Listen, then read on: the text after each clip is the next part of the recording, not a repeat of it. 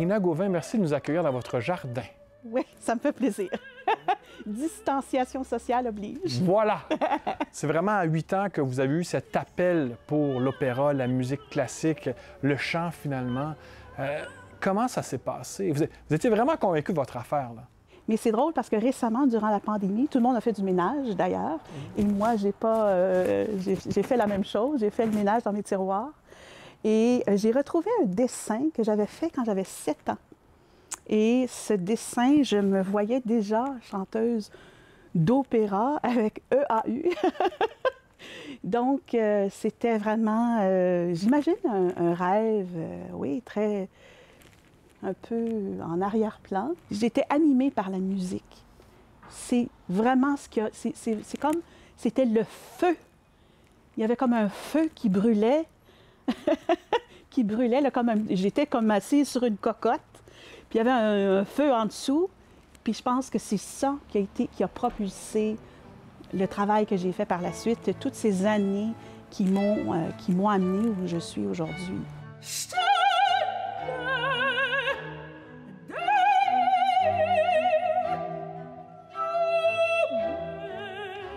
Parmi les critiques, à peu près tout le monde s'entend pour dire que vous avez une voix unique, planante.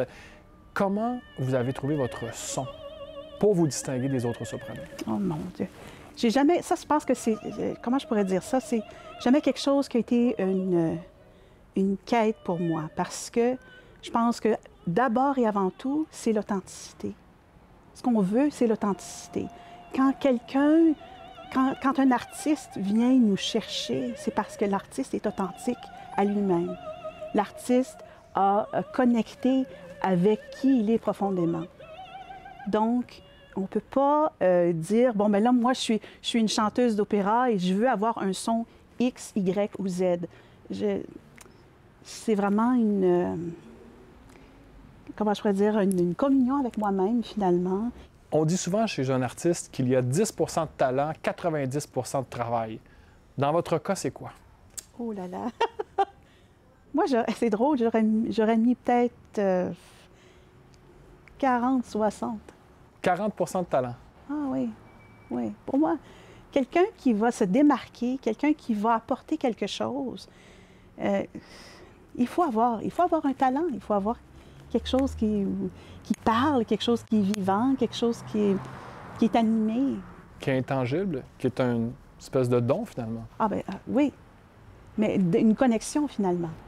Qu'on ait cette espèce de, de, oui, une connexion euh, avec euh, l'âme de la musique ou l'âme de ce qu'on recherche. On recherche quelque chose.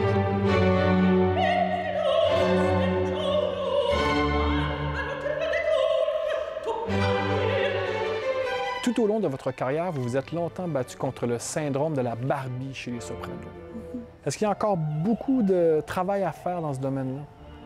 Posez la question, si un peu y répondre, vous me direz non? ben oui, les choses ont, les choses ont beaucoup changé. Euh, oui, il y, a beaucoup, il y a beaucoup ce phénomène-là dans le monde de l'opéra. Ça, c'est sûr.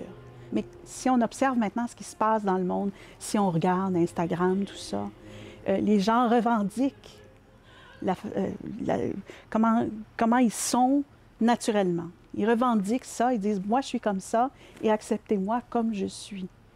Que c'est plus. Parce que, en fait, ce, ce, que les gens défendent, disent, ils disent en fait Ben, je suis quand même. on peut m'aimer comme je suis. Et c'est un peu ça, je veux dire, c'est la vraie vie, ça.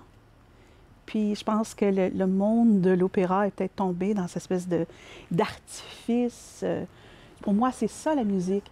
C'est quelque chose qui, vit, qui, exprime quelque chose euh, au public, que les gens sont là devant nous et qui ressentent quelque chose, qui y des frissons, qu'il se passe quelque chose dans leur âme.